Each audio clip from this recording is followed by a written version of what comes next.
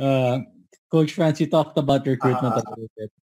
Um, you know, right now, it's, since we're talking about CSB, wala nang, ano eh, kumbaga, foreign student athletes sa CSB. Wala nang import.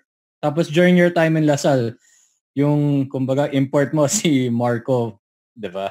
Tapos na yun, it's all, you know, there's so many good uh, imports in the UAP. What are your thoughts on, you know, imports playing in the in college basketball?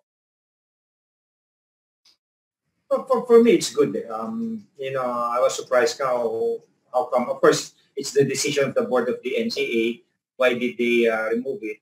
Um, kasi, uh, ako, I'm, it's my own opinion. No? Uh, if I'm a school, a small school compared to the other big schools in the NCAA, only way for me to compete is to get an import. At least kahit pa paano you can, you know, you can compete with them. Because unang-una, um, when it comes to recruiting local players, um, ang first option lang so-called big schools. Eh. Sa doon, mahihirapan ka na kagad. Eh. At least with the imports, aside from that, um, uh, you can level the playing field, especially for Lockheed, that you can be able to get a good import. Second, it's a good training ground din for the local players. Um, you can just imagine day in, day out, in ang bantay ng local players, ng college players. Then when you play against the opposing um, college uh, teams, they play against the import. So it improves the um, quality of the game. It improves the level of, uh, you know, yung uh, um, competition, quality, competition. At the same time, pati yung, yung local players will improve their skills. Eh. So for me, I, I'm I'm for it. Eh. Ang, ang, ang ayaw ko lang naman yung, yung there was a time na sa inyo na masyadong maraming import kung payag ng dalawa eh. Ako nga, uh, I, I, I proposed this already to uh, our uh, board representative. Dapat sa UAAP, hindi nagiging best, hindi nagiging MVP ang import. You know, they should be classified as uh, best student athlete. You know, kaya nga we call them import. They're bigger, they're stronger, uh, more athletic. So lamang na sila kagad how many players, local players na hindi nakakuha ng award that they should have been the MVPs, di ba?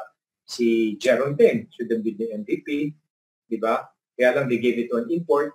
Uh, sino pa ba yung mga naglalaro um, last year? Dapat si 3D ang, ang MVP.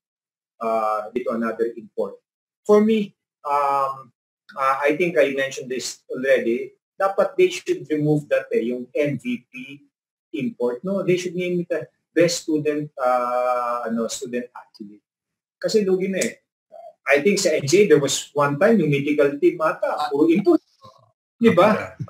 Uh, apat, hindi, hindi eh. Hindi eh. Ako, yun yung opinion ko eh. Kaya nga, sa PBA, di ba, wala nga nag-MVP import. That import siya eh. Best import. So, at the same time, sa UAP, it should be best student athlete.